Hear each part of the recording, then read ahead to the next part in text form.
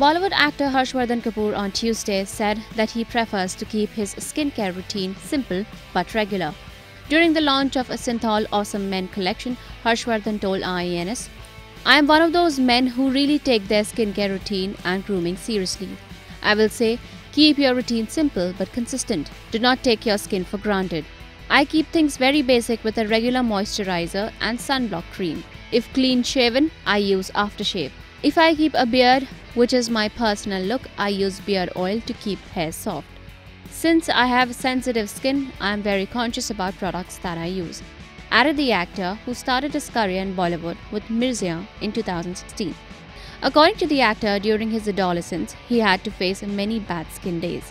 I used to experiment too much with cosmetic products and that affected my skin.